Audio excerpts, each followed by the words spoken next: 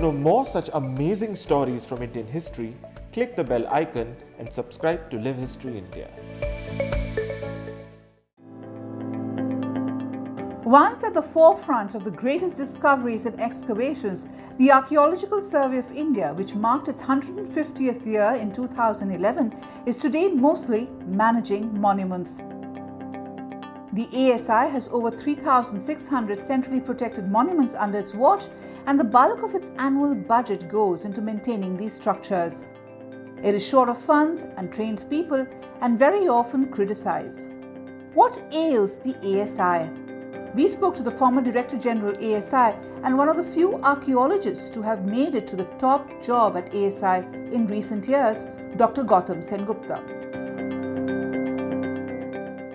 To my mind, the most important problem uh, in respect of, I'll call them monument management, is lack of coordination. Our inability when we say our, I mean all of us, the uh,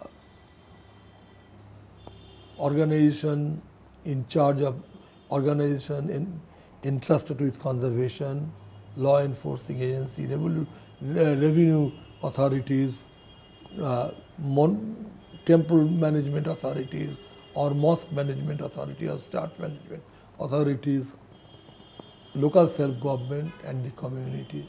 Our we have been so long we have been unable to evolve a strategy by which the local community will look at a monument and its conservation as their own issue.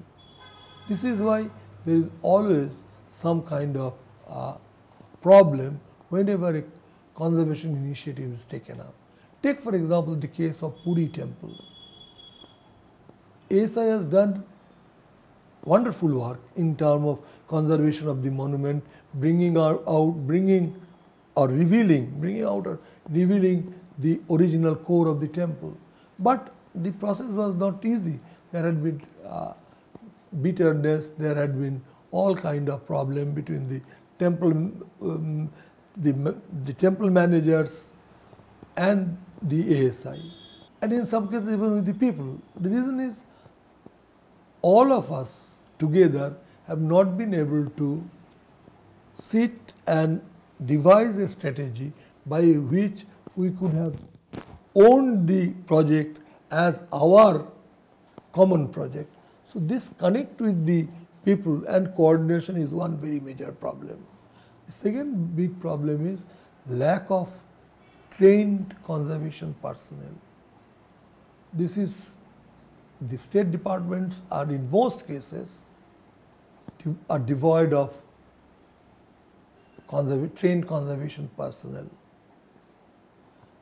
And ASI, although has a uh, conservation setup and it is legitimately uh, well known for doing excellent conservation work in India and abroad, but at right now they are also starved of manpower capable of taking up conservation work in all with all professional skill and competence. So, this is a major problem. I am I, I will not go into the reason uh, as to or as to why the situation is such, but certainly ASI requires more of con competent conservators, particularly conservators capable of handling structures, structural conservators at different levels this is an urgency and this urgency must be attended with a genuine sense of immediacy and urgency. According to the 2013 CAG report on the ASI's functioning, less than 1% of the annual budget of the Archaeological Survey of India goes into excavations. Where excavations have been done, reports remain to be published. For instance, despite years of excavations at the important Harappan site of Dholavira in Gujarat, there is still no report on it. While critics have blamed the ASI for this, Sengupta believes the problem runs deeper. The important requirement for any excavation is to publish the report. Unless the report is published, there is no point in taking up excavation. That is where all of us, ASI, state departments, universities, all of us failed, failed very badly. As an insider of the ASI, I had tried my best to uh, see that some reports are published and indeed some of my colleagues had been extremely helpful in the process. Sannati Kanaganahalli, the most important or the, one of the most important early historic site from Karnataka which was excavated for many years, that report, a, a, quite a bulky formidable report was published. While the ASI is dealing with a major backlog of reports to be published, sites are simply disappearing. In a country like ours, there are hundreds of thousands of sites that need to be protected, and many of them still haven't been listed by the central ASI or state archaeological departments. The rapidity with which these monuments are collapsing is worrying.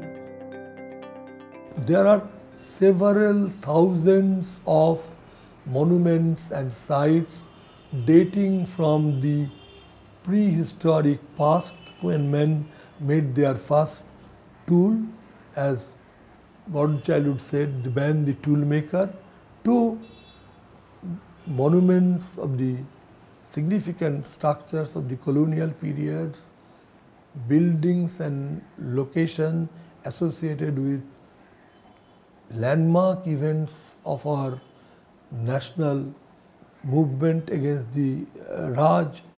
Terribly worried, but not only about monuments, but about India's past, which is which survives in form of sites, small mounds of, as the British would call it, protuberance, small, small uh, mounds, high mounds, mounds of middle size, water bodies. There, there are uh, uh, deposits, uh, sorry, uh, archaeological scatters. These are all very important telltale evidence of human past. There is a need to address the crisis we face as monuments simply disappear across the country. According to a report put out by INTACH, 27% of monuments in India will simply disappear over the next 10 years. This is appalling if you take into consideration that not even 1% of India's monuments are actually protected. The crisis is real, but there is a larger problem that Dr. Sengupta alludes to. That is at the heart of what we are facing today as history and its interpretations become more rhetorical.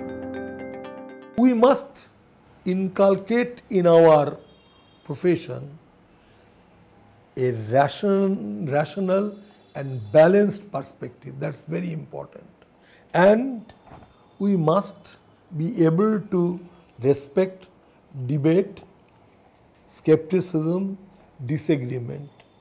We, there is no point being unanimous on every, every issue. It's as our texts tell us, Bade Bade Jayate Satyam. The truth comes only out of debate. We must learn to debate. We must learn to disagree. We must learn to, even if, if we are official archaeological establishment, we must learn to honor the other point of view. It's only by practicing genuine, what is called spirit of rationality, balanced view and ability to accept multiple point of view that archaeology can uh, really develop in the way it should develop.